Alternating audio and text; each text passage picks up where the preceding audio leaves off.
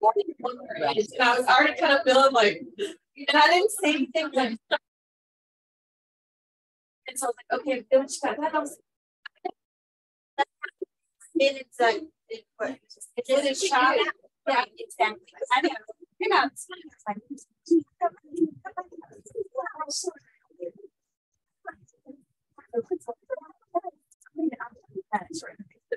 There's people at, at, uh, oh, yeah, she really, yeah, and we're always the opposite.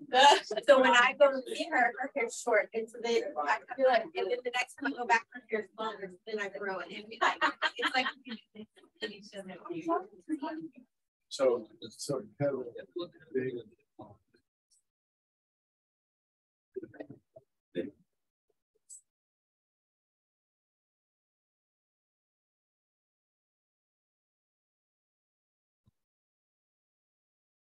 big-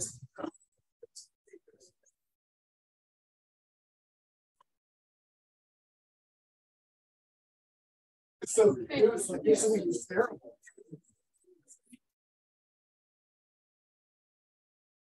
Yeah. Weird about that, those tiny t-shirts. Well, that made me true. Small. That made me true. Right. He was so serious, man. He was like, it was legit. Yeah. Okay, she like. Your little tiny teacher, I like it, gotta look out. You're pretty- oh,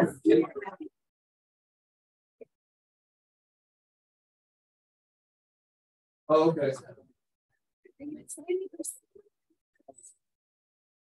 For you, like it's the same kind of search for David? You all doing this? Yeah.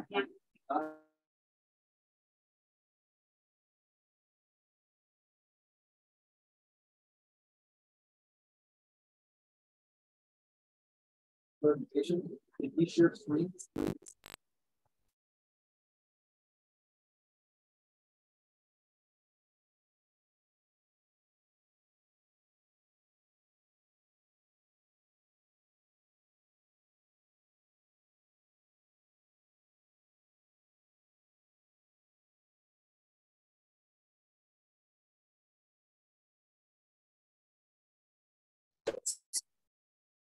Yeah, so I mean, if not, we can adjust it, but yeah. All right, sweet. Yeah, okay. I'll get here a little early. Oh, that's, I understand. Sweet. All right, cool. Yep. Looks tonight. Pledge. Yeah, 'cause they're, they're on either side of. All my flanks. So I'm gonna. Develop like nobody this. One of them will be better than the others. I have no doubt. I'm just don't know all four. It's still the same. We just better. We're gonna invert.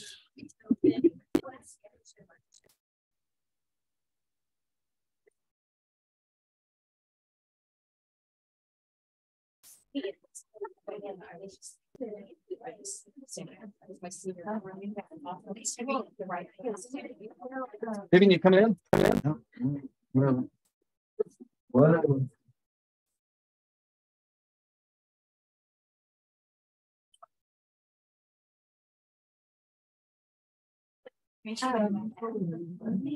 I was like putting this thing together. I'll go through my lessons like look at that. And you- Thought I didn't write it. Oh wait.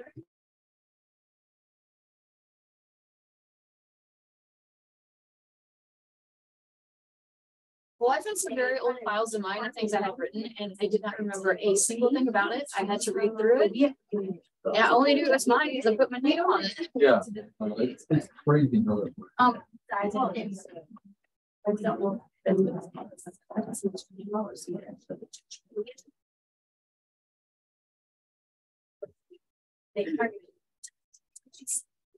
How that works. Um. Yeah. That's super fun. Thursday when my friend, he was, uh, uh, retired, well, no, he wasn't retired. He was, No, they're never really good kids. No, he was fun on active. Anyway, his wife was trying to surprise him for his birthday. I will never, ever throw Bud Ray a surprise birthday party. I don't want anybody to see that. She his best friend and he did in the apartment. He went, walked in, his fire senses went off and someone was in the apartment and started trying to the- trying to clear the house.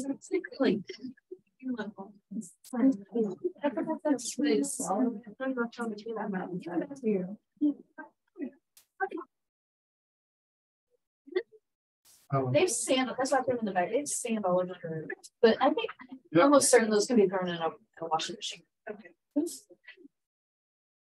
But we'll see, they're wide. Is the, the ones, that- she might not be long. The last one, the last one. Um.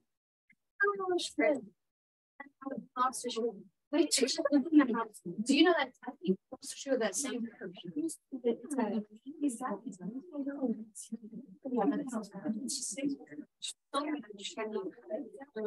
Good, man.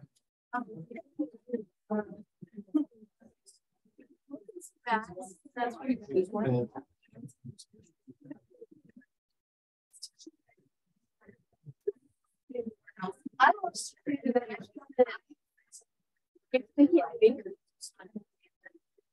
Stuck in the couch, I don't know. We found it like. Oh, yeah, the boots. the boots. Yeah. Oh, that's what it is. That was tragic. That was tragic. We had fun. tonight. It started. Yeah, we feel like one pair. Right, exactly. Yeah.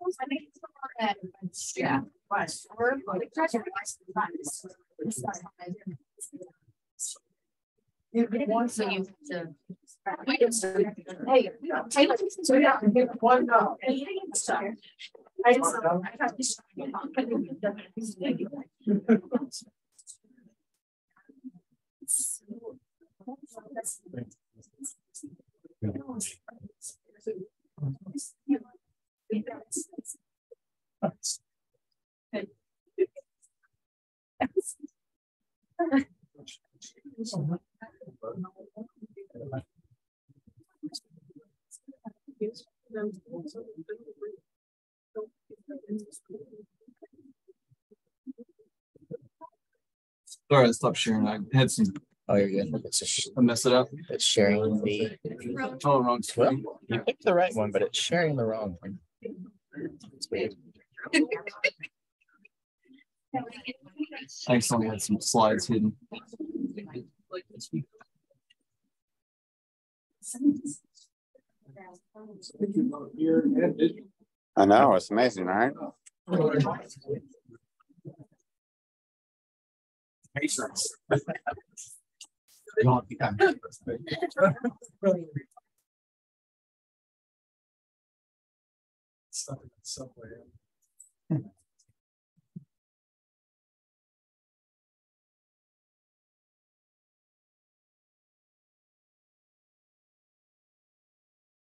Want to run around.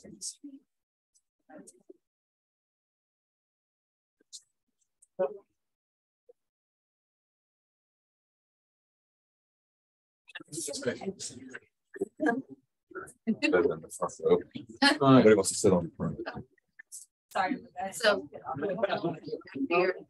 Um, Worst thing after that, have the teeth. That's the. Need more evidence? Okay, we'll, we'll make some more evidence. Actually, I, I Don't don't, need more. but we need to. Get started. Good. Says not. Sophia.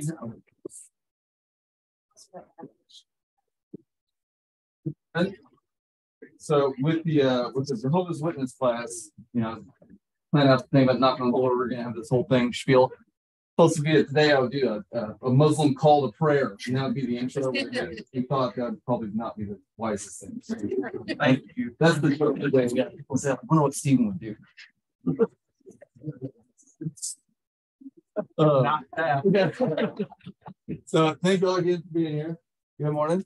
Uh, we'll jump in. So today we're gonna go over uh, Islam, and uh, it's a little um, I don't know the right word Dense. Dense maybe for for trying to get through this entire world religion in one class. We're gonna try our best, but there's there's a set amount of material. So if I go over, we might go into the, the class of Mormonism. So just keep that in the back of your mind. I, don't- I don't want to rush. I rushed last time. Sorry.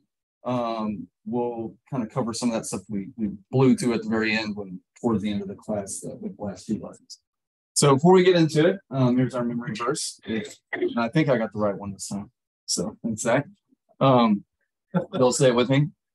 And how shall they preach unless they are sent? As it is written, how beautiful are the feet of those who preach the gospel of peace, who bring glad tidings of good things from the Very good. All right, so our calendar, this is a little update. So again, we're on May twenty-first. Islam next week is uh the one I'm most nervous about, just technically, is uh the we're gonna have a call with Billy, who we support in India, and he's gonna kind of give a little interactive uh presentation over Hinduism. Come kind of prepared to to ask questions and and kind of get he he speaks better English than I do. Um so it's which isn't hard. So I mean, if if you ever wanted to just pick some a subject matter expert's brain and be on the same wavelength, you know, Andy's a Christian, obviously, it, it's a great opportunity. So um I we're gonna rehearse to make sure everything goes well with that. I'm really looking forward to it. Um also in the news section with the the cult class, uh Boston, they just had a huge, we were talking about this, even a huge uh gathering of Satanists. Um and so I I took this from the uh, uh BBC yesterday, there's kind of some screenshots. Uh kind of fascinating. So this is like literally hundreds, if not thousands of, of members of the Satanic Temple were gathered in Boston. So just up here at the top, see my pointer work. Up here at the, the middle top paragraph, in a candlelit room set aside for satanic ceremonies, a neon sign welcomes you to the little black chapel. Um, and then let's see, the next paragraph down in the middle paragraph over there. Um, the ritual being performed here is an unbaptism in which participants symbolically reject religious rites performed when they were children. Kind of fascinating, okay? Um, and then if you go over to the uh, the last column to the right, all the way at the top, members say they don't actually believe in a literal Lucifer or hell. Instead, they say Satan is a metaphor for questioning authority and grounding your beliefs in science. The sense of community around uh, these shared values makes it a religion, they say. Um, again, this is people believe this. Like you know, it, it's it's a growing trend. This isn't the the off the wall thing that we sometimes may, I'm guilty of thinking. Um, what's I included the picture down at the bottom right. They they had uh, a symbolic ceremony of ripping pages out of the Bible, and that was you know shunning you know, religious doctrine, things like that. What's funny is they didn't do that with the Quran, which goes this into the Muslim class. All right, can you imagine what would have happened if they did that with the Quran?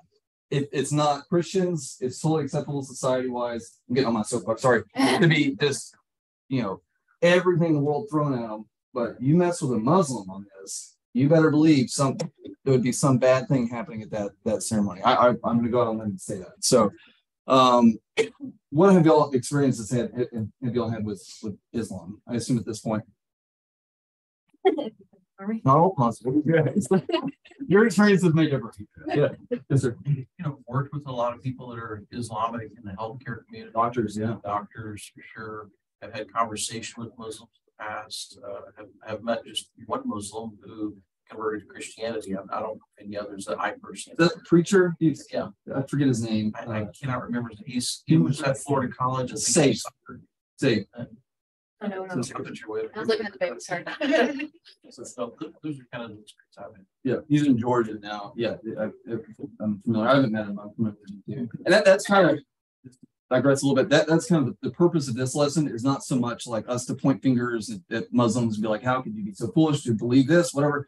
It's more we're going to have increasingly so interactions in our daily lives, and so what if any conversations can we have and also looking somewhat at the doctrine just to see what it is that that they believe and, and how it compares to the Bible. There was a mosque across the street from my high school, so we got to hear the call to prayer during soccer games a lot. Yeah, fascinating.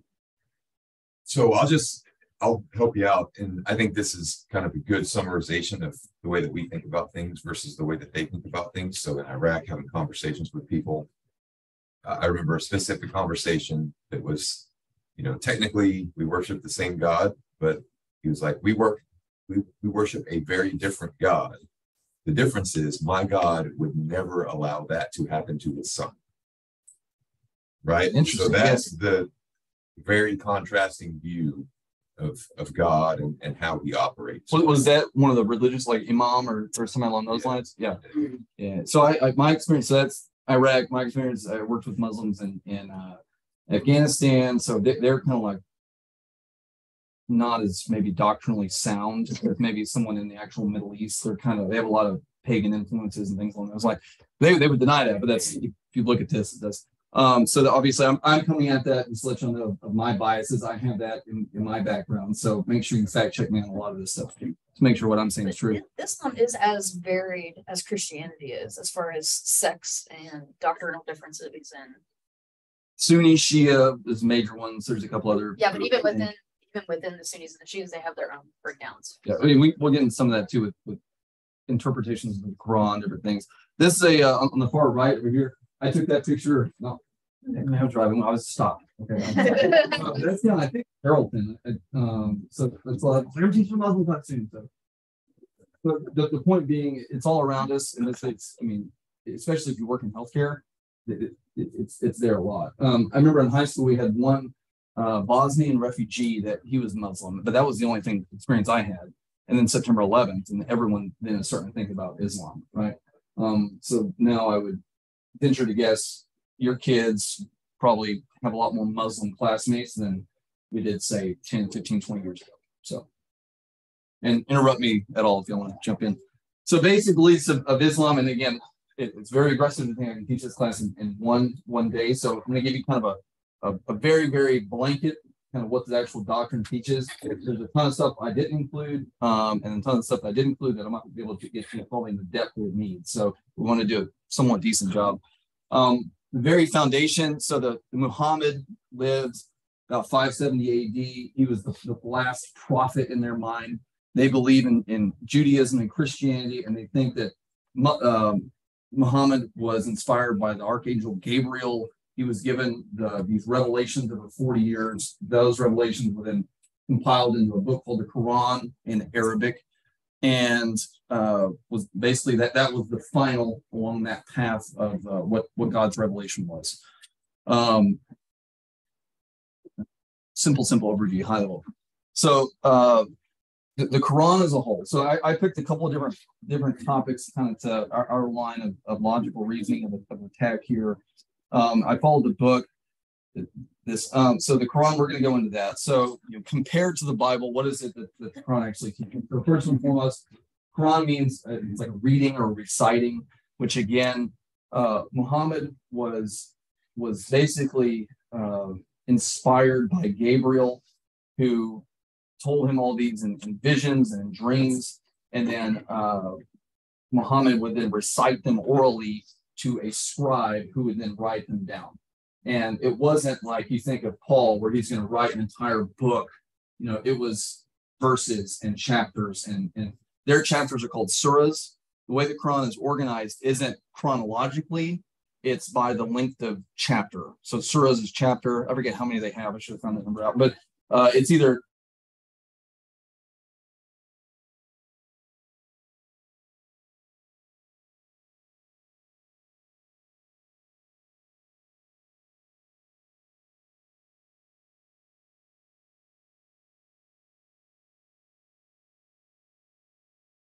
try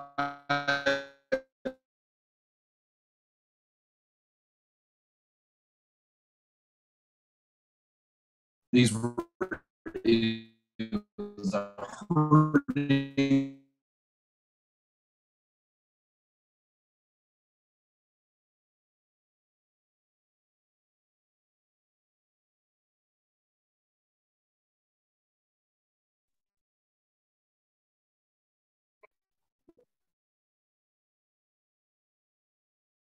memorization.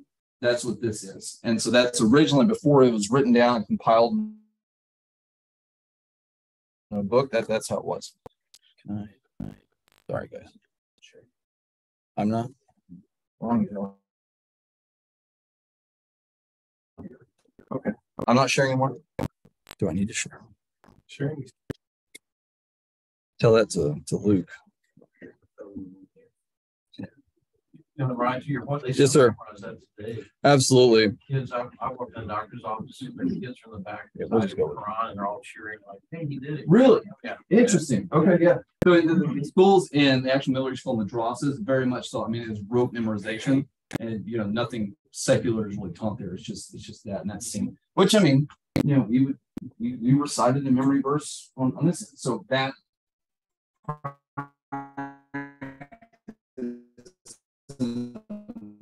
is one here is I, it's most likely being recited in Arabic, whether or not the kid actually understands Arabic. And that's another big pashtu or something else. And they would know and be able to say the Quran in Arabic. And they have no idea what they're saying.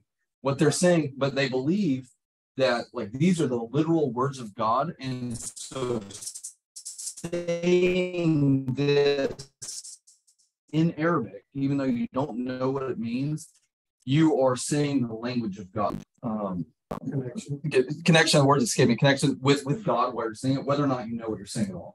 Um, it- it's fascinating, right? Kind of off topic, um, I had to do a case study on a patient to get my job at Children's. It's a book I was required to read. There is a story on the process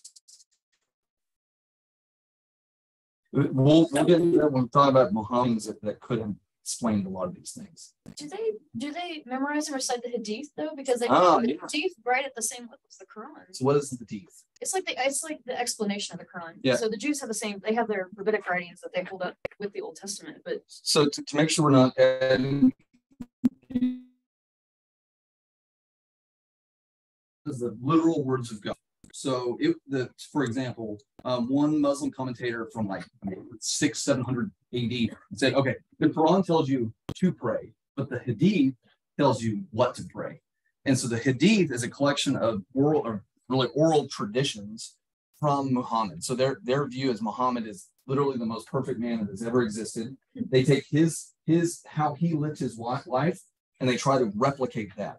And so there's there's between a thousand, three thousand different traditions that the Muslims will then look to almost on par with the Quran as to how to actually implement their faith.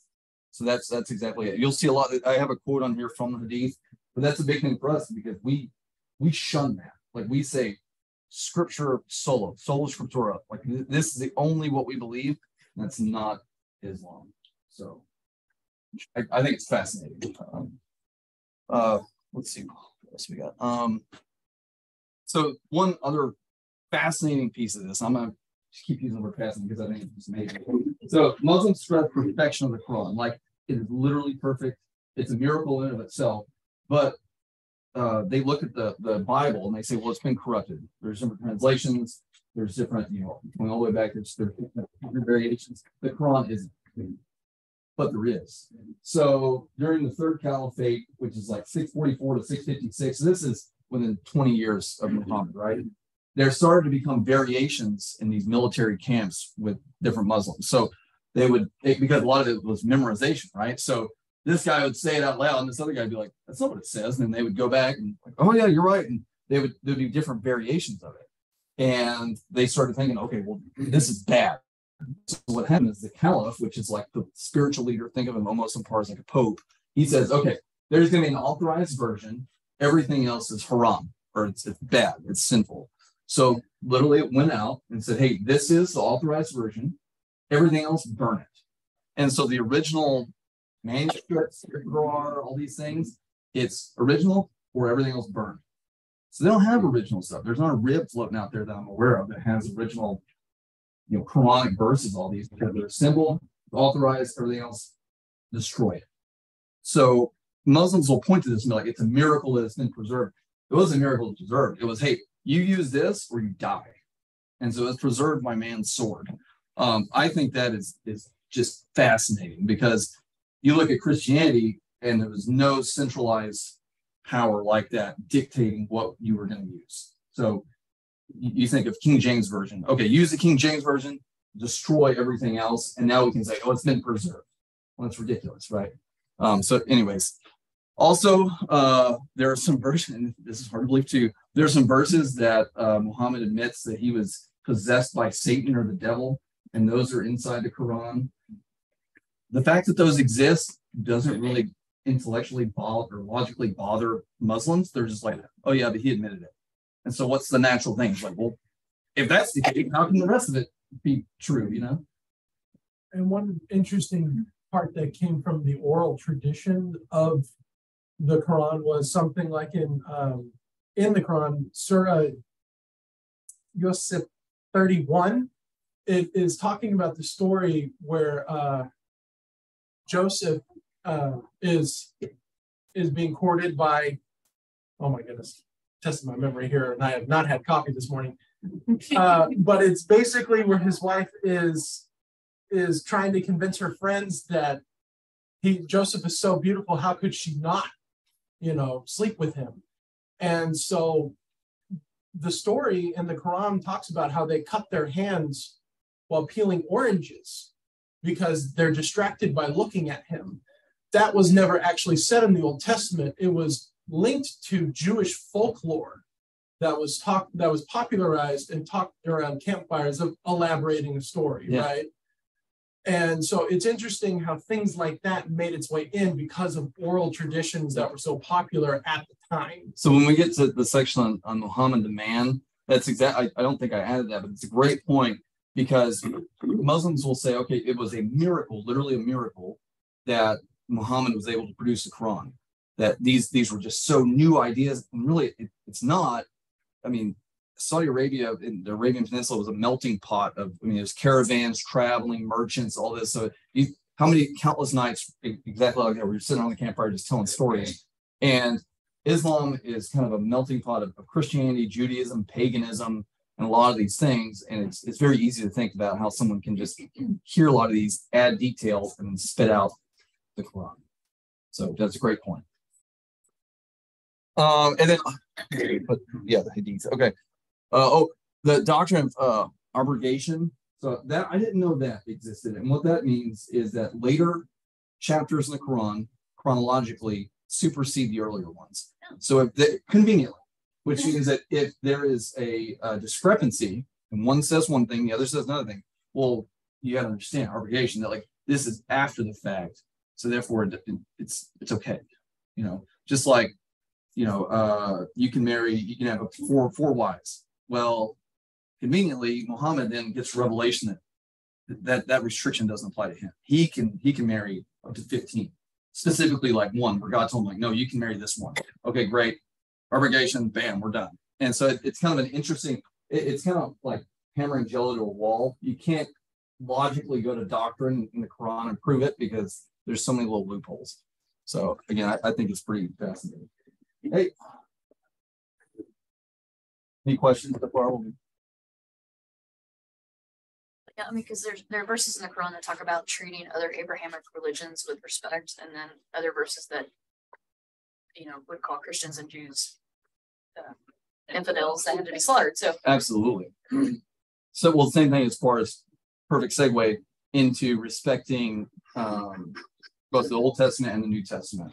So that would say, okay, Muhammad um, said, like, legitimately said, okay, you need to follow these old scriptures, but also what I'm saying. Well, these old scriptures, if you read them, completely refute anything said. They're, they're going to come after. Um, so you again try holding that, that thought in your head and try to make it work.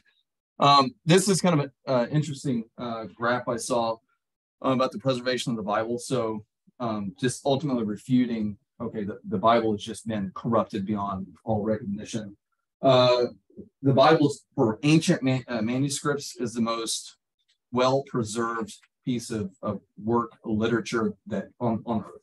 Um, so there's this shows all, and again, no one's going to say, oh, the Iliad, you know, that's That, that's, that's preserved, right? There's six hundred and forty copies. Uh, complete New Testament, there's almost six thousand complete copies dating back to the you know, second century. Um, and the percent accuracy is ninety-nine percent. You think, oh, what about that one percent? Those are things like, I mean, it- Grammar. Exactly, yeah, Typos. yeah, exactly. It, it's not anything that would have a doctrinal significance. And this is again, without a centralized authority, you know, by the, the fear of death, telling what you're gonna, what you're gonna use. And the, the Iliad's the next best best thing in historical documents, except there's only a handful of copies that even attribute the Iliad to Homer as Oh, the author. Yeah. And we take that as okay, Homer wrote it. And an atheist isn't gonna refute that, right? Yeah. And we're kind of veering off into atheism, but again, we have to have a good understanding that what we have in scripture is preserved. And so now we can, we can dive into it faithfully knowing, it's like jumping into a, into a, a deep lake. You can't see underneath the surface. Well, we, we know that it's deep, not gonna dive. There's not gonna be a rock right underneath it when we jump in. So we, we know what it is. One, uh, a couple of books, sorry, I neglected, they're sitting right here. Um, on, on this subject, but also how the scriptures came to be. Highly recommend this book if y'all ever want to borrow it or, or buy it. This is great for your library. Um, the canon of scripture, it's fascinating. And then if you're ever seriously studying Islam, this is the book you need to get. It is like I would highly recommend it. It's Answering Islam. Um, it it takes it from a logical perspective, considers the Muslim argument, and then refutes it. So, And but again, another, another good book on the scripture is um How We Got the Bible by Neil Lightfoot. oh yeah, And I have a couple of copies if anyone ever wants to borrow. Yeah. Um. Sure. Hey, so real fast before you come on, just some of the questions in here. Um, if you had a spiritual conversation with a Muslim who said, "Yes, of course, the Bible and Jewish texts are from Allah or God, uh, but they have been corrupted through the centuries. The Quran is the only book to have been preserved throughout the generations." How would you respond? What do you mean? Should prove that? Prove that it's been preserved. And then, okay, you can preserve a lie, but it doesn't mean that it's, it's actually true, right? It's still, you're just preserving a lie. I would probably look at it. Now, that's a little more pointed than a lot of Muslims would like. Go for it. Um. And then, would there be any questions that you would pose to challenge a Muslim's claim that the Quran has been perfectly preserved? How come Muhammad's life doesn't reflect the life and the teachings though? Of, of his teachings? Yes. Very much so. And we'll get into some of those too. He's not the perfect moral example. Yeah, if you follow Jesus, you come out a Christian, but if you follow Muhammad, you do not come out a faithful Muslim. That's a great one. And you might have to clarify this for me, but I, I believe that the Quran does attest to the Old Testament, New Testament being from God.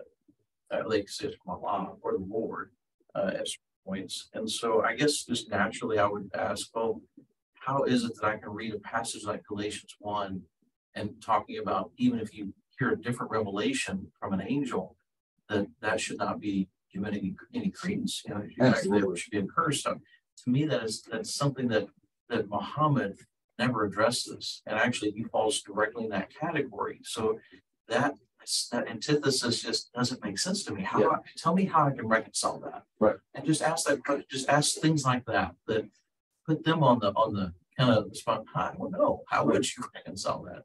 It, it's not enough to just say, well, Muhammad was the final prophet. It's not enough. Right, says who, right, and the the Galatians one is a perfect example of that, I mean, it speaks specifically to this, if it ever happened. Yeah. It's a lie. Yeah. I mean, it's, yeah, that's exactly right, that, then I put that in here too, just again, for the preservation of scripture. Yes, sir. I was just gonna say from a, just from a strictly literary standpoint, like take out doctrine and just from looking at it as a work of art, so to speak. It's not even remotely comparable, the literary quality of the Bible versus the literary quality of the Quran. So it's Just like Readability. Right, the, the the beauty of the language, the clarity of the language, the consistency of the language, like all of that is not. not Even. Right. It's, yeah, just not even that anywhere close. And, and to understand it takes a lot of background research, but that's absolutely true. That's, that's, I mean, it's absolutely, um, People, people get stuck in the very difficult parts to understand of the Bible and kind of miss the beauty of the bulk of it, which is quite easy to understand. We're that, and again, to me, going back to, hey, you know, within 20 years of, of the creation of this, all there was a concerted effort from a centralized authority to destroy all differing texts. It's not that differing texts didn't exist, they were just intentionally sought out and, and fanatically destroyed. So that removes this argument for me as it being from God, I guess, or from a, a miracle standpoint. Um, so free will. This is the part about Islam I didn't know until I, I studied it. Uh, I, I, didn't know this, and so you think Calvinism, you think you know, uh, God has picked those who are going to be faithful to Him and who are not. Islam is very much the same way. Now, if you talk to a you know westernized uh, Muslim, or you know, again, we, we talked about there's there's a bandwidth of what is we're talking about fundamentalists. If you read the Quran and go based on that, this is what you come out with. And so if they disagree with this, go to their own source, and they're not in